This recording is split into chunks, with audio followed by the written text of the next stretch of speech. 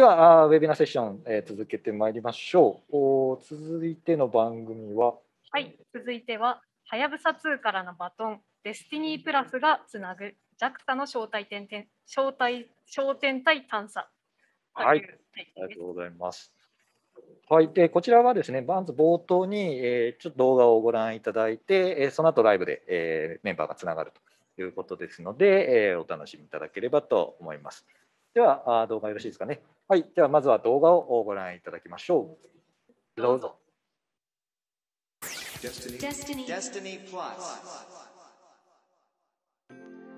はい、それではここからは JAXA が現在計画中の将来ミッションであるディスティニープラスのミッション概要について、ここに示す3つの切り口から説明したいと思います。1つ目は、イプシロン S ロケットによる初の深宇宙探査ミッションであるということです。イプシロン S ロケットというのは、このロケットですが、これまではやぶさ2のような深宇宙探査機は、H2A のような大型で高価なロケットで打ち上げられてきました。それに対してディスティニーは小型で低価なロケットであるイプシロン S ロケットを用いて、より高頻度な深宇宙探査を目指します。そのような小型ロケットによる深宇宙探査を実現するために、ディスニーでは世界で初めてとなるイオンエンジンによる地球周回軌道から新宇宙への離脱を行う予定をしています。具体的にはイオンエンジンを用いて、ぐるぐるぐるぐる約1.5年かけて地球周回軌道から離脱する予定をしています。さらに火星探査機のぞみで用いられたような月スイングバイを複数回使うような軌道制御の凄技を用いて深宇宙探査を実現しています。2つ目のポイントは将来の深宇宙探査への布石を打つということです。イプシロン S ロケットによる深宇宙探査を実現するために、ディスティニーではイオンエンジンとイプシロンロケットの上段にキックステージを搭載して打ち上げる予定をしています。さらにそれらの技術を支えるような薄膜で軽量の太陽電池、それから先進的な熱制御デバイスを開発、搭載する予定をしています。3つ目のポイントは、フライバイ探査の再発明。ということで、ディスティニーはこの双子座流星群の元となる小天体、フェイトンをフライバイで探査する予定をしています。フライバイというのは高速で過ぎ去り際に探査するというスタイルです。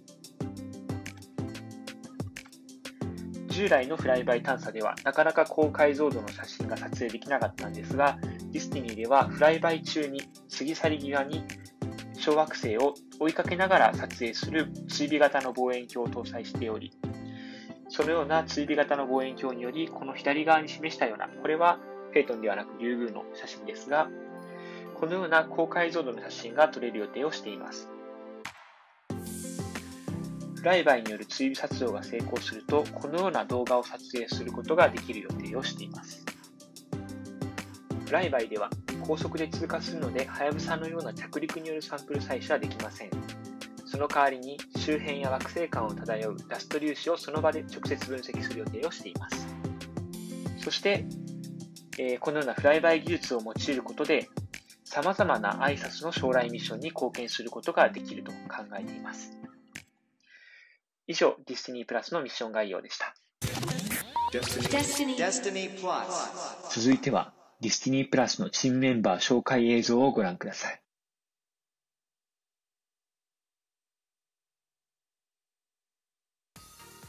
デスティニープラスミッションは、イプシロン級小型ロケットとイオンエンジン技術により、小型探査機による深宇宙探査を頻度高く行うことによって、太陽系におけるより多くの焦点大探査を目指し、開発を進めているミッションです。技術実証を宇宙空間で行うとともに、その実証の機会を用いて、生命の元となる有機物を地球にもたらした可能性のある焦点体、双子座流星群のふるさととして知られている小惑星フェイトンを探査する理工学一体のミッションです。新しい技術開発と小惑星フェイトン観測に挑戦する人々の声をお聞きください。デスティニープラスの工学ミッション、エンジニアリングの醍醐味の一つは、地球を周回する低軌道から電気推進による加速を経て重力圏を脱出し、新宇宙探査に向かうという世界初の試みにあります。砲丸投げの選手がぐるぐると回りながら加速をして投擲する。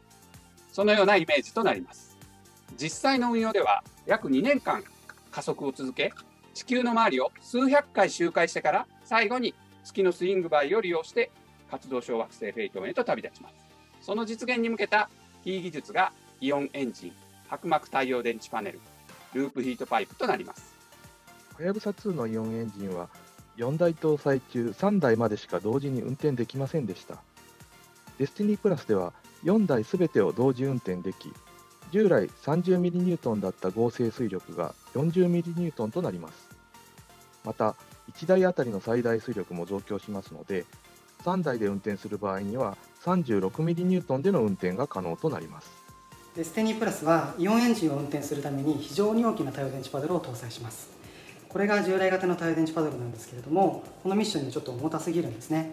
そこでデスティニープラスでは薄膜の太陽電池シートをこうしたフレームに障子のように貼り付けることで世界最高レベルの性能を達成した太陽電池パドルを搭載して軌道上実証します。デスティニープラスは食べ殺と異なり地球の周りをぐるぐると回る期間があります。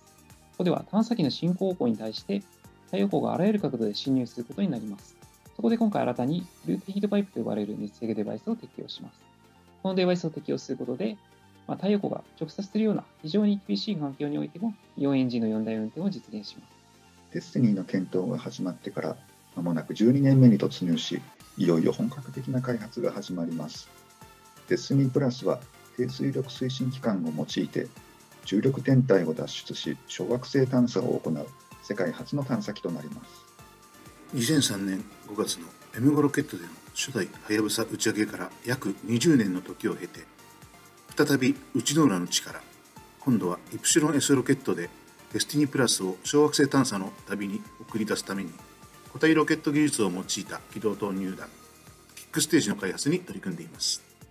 宇宙から地球に降り注ぐ塵またはダストは地球生命の誕生の鍵を握ると考えられています。デスティニープラスは地球周辺の宇宙空間を漂うダストの実態調査と毎年12月に双子座流星群として地球にダストを届ける小惑星フェイトンの実態解明を目指します。デスティニープラスには2台の理学観測用カメラを搭載して小惑星フェイトンを観測します。詳細地形観測用の望遠カメラと物質観測用のマルチバンドカメラです。世界最高レベルの高速度、高解像度でのフライバイ小惑星追尾撮像を目指します。デスティニープラスのダストアナライザー、略して DDA をドイツのグループと共同で開発しています。DDA は軌道上にあるダストの質量、速度、方向、そして化学組成を測定できる世界最高性能の観測装置です。フェイトン周辺のダストを含めた様々なダストの観測を目指します。デスティニープラスはとても挑戦的な面白いミッションです。開発するのに4年、運用で3年、本番が5分。テンション上がります。ディスティニープラス頑張ります。デスティニープラス。デスティニープラスにはたくさんの凄技が詰まってます。今から楽しみです。デスティニープラス。デスティニープラスの成果にご期待ください。応援よろしくお願いします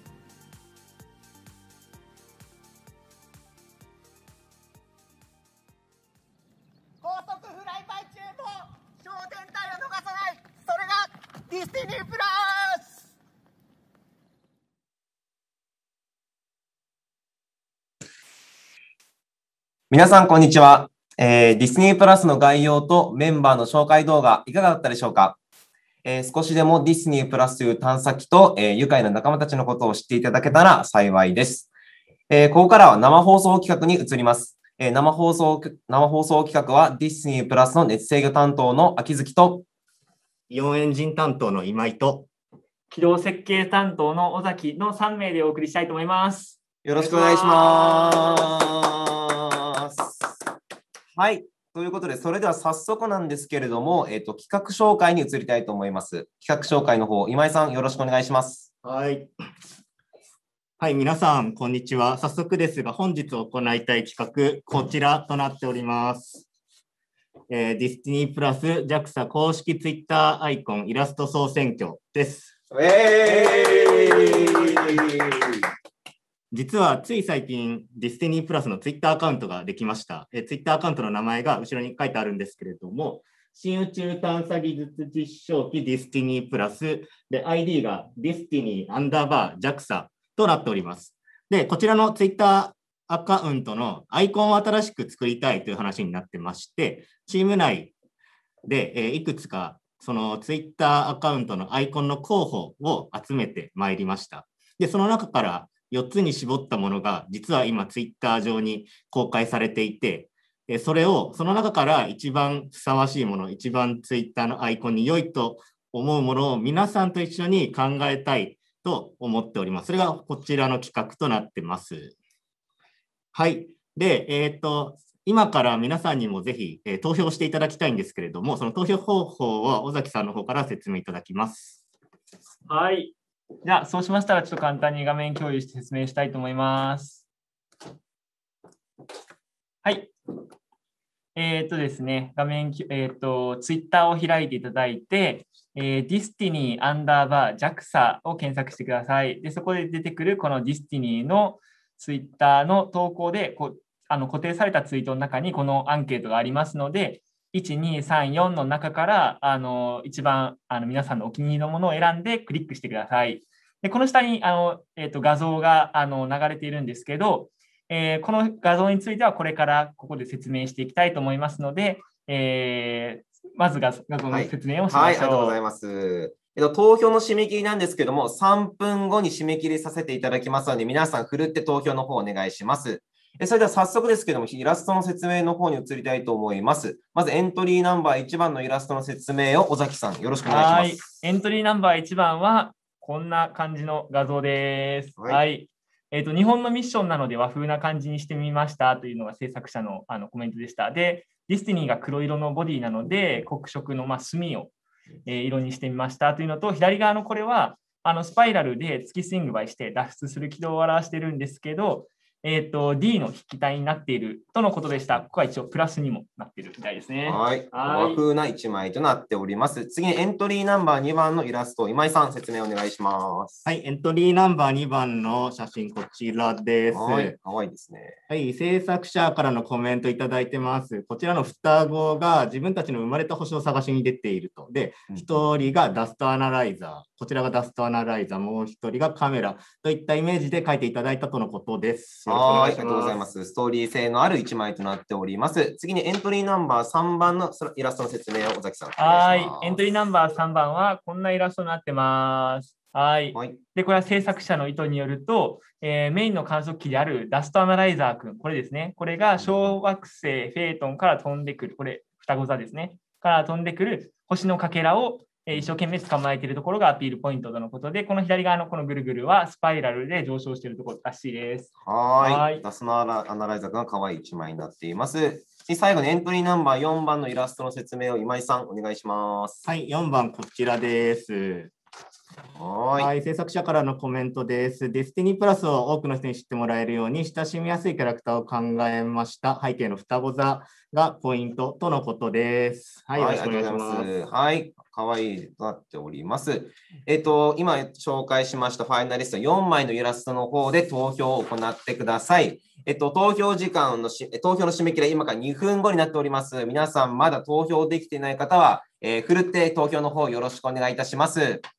はい。ということで、投票今済んでいらっしゃる方は少しお暇かと思いますので、ここで、えー残念ながら、えっと、今回ファイナリストには選ばれなかったんですけども、個性的なイラストを紹介していきたいというふうに思います。えっと、まずは私から、秋月からですけれども、私のお気に入りのイラストはこちらですね。で、これは、えっと、かなり、まあ、個性的独創的な絵になってるかなと思うんですけども、すごいカラフルな宇宙の中にディスティニーがちょっと埋もれかけているといったような絵になっています。この色使いがとても綺麗で僕はすごいこれは好きですね。はい。まあ子供が描いたみたいな感じの絵になっているという感じですかね。はい。では次に尾崎さんですかね。あ、次マイクさんですね。はい。よろしくお願いします。はい、えっ、と、私が気に入ったのはこちらですね。はい。で、これちょっとパッと見何かわかんないかもしれないんアイスクリームのコーンみたいな感じですね。でこれ探査機ではなくて、ロケット側のキックステージなんですね。なんで、これキックステージくんということだと思います。なんで、これはい、これは普段だと探査機に注目されるところをキックステージに注目して書いていただいたということで、キックステージ愛にあふれる一枚ですごいいいなと思いました。はい。ありがとうございます。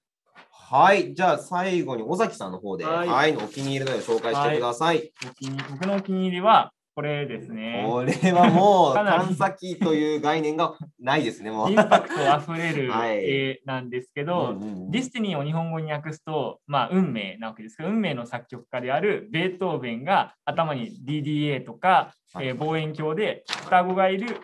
天体を探査しているような、観測しているような絵になっています。ここはダダダダーン、まあ、運命のダダダーンのここがプラスになっています。はい、はいいろんな画像をこう寄せ集めてディスティニーを表現したという、まあ、これはまた個性的な一枚になっているかなというふうに思います。えっと、皆さんもコメント等いただきましてありがとうございます。えっと、投票の方、これで締め切りとさせていただきたいと思います。えっと、結果発表に移ります。結果発表、今井さん、よろしくお願いします。はい、今まさにツイッターを確認しております。はい、今、今ちょうど今確認しております。はい、はい、はい、確認できました。はい。じゃあ、それでは、ははい。い、はい選ばれたアイコンはこちらになります。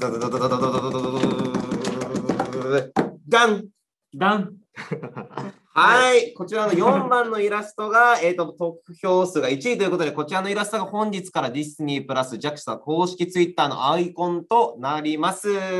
皆さん投票ありがとうございました。はい、ディスニー JAXA で検索すれば、えっと、こちらのツイッターの方が出てきますので、皆さんぜひぜひフォローの方よろしくお願いいたします。よろしくお願いします。はい、え以上、ディスニープラスの生放送企画でした。ありがとうございました。ありがとうございました。